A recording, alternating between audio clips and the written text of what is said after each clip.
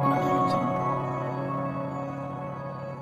Здравствуйте, уважаемые подписчики и зрители нашего канала. С препаратом циркон я знакома уже давно, поэтому хотела поделиться с вами опытом применения данного препарата на рассаде. Этот препарат я закупаю каждый год с запасом, ведь средство проверенное временем и экологически безопасное. Да и честно сказать, некоторые растения в моей местности без него не растут, причем в прямом смысле этого слова. К примеру, многие сорта капусты получаются мелкими, а сами кочаны рыхлыми. Другое дело дело, если опрыскивать каждые 10 дней цирконом. Ну ладно, возвращаемся к рассаде. Условно сравнивая с лекарственными средствами, циркон можно отнести к БАДам. Выпускается в емкостях разного объема 1 мл, 5, 10 и 20. В ампулах находится маслянистая, светло-желтая либо желто-зеленая жидкость, которая имеет характерный запах спирта. Жидкость слегка пенится в процессе разведения в воде. Это не совсем удобрение, скорее это средство помогает растениям справляться с негативными факторами и лучше развиваться. Также способствует развитию мощной крепкой корневой системы и помогает лучше адаптироваться на новом месте после пересадки. Я всегда опрыскиваю и поливаю рассаду при пересадке цирконом. Время на приживание и восстановление уменьшается в разы. Раствор следует готовить непосредственно перед его применением, так как он не хранится. Для этого 3 капли циркона я развожу в 2 литрах воды. Этим раствором поливаю растения непосредственно сразу после пересадки, а также